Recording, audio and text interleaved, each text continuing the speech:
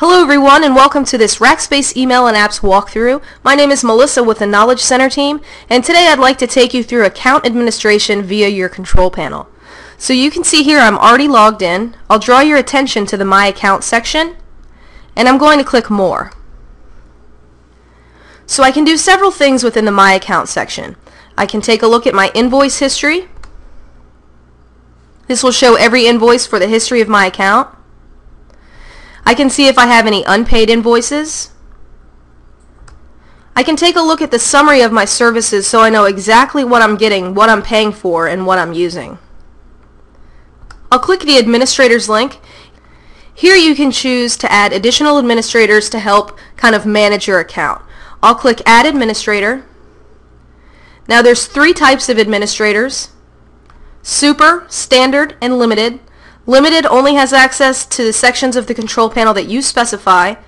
A standard admin has all the access of the control panel but cannot add new administrators. And a super administrator is, is what you are and they have access to the entire control panel. So I'm going to make a limited admin.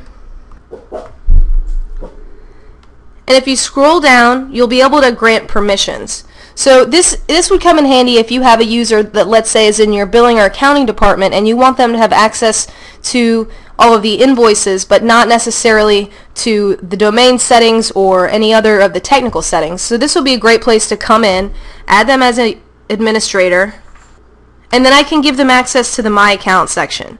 I can either grant access to the entire section or just those related to invoices. I'm going to click back to the My Account home. Another great thing that you can do here is upgrade any of your services. So I'll click on the email hosting link, choose the domain that I wish to make a change, and then here I can add mailboxes, add extra storage. For example, if I have Microsoft Exchange, I can add storage and allocate that. Licensing for mobile devices, this is also for Exchange.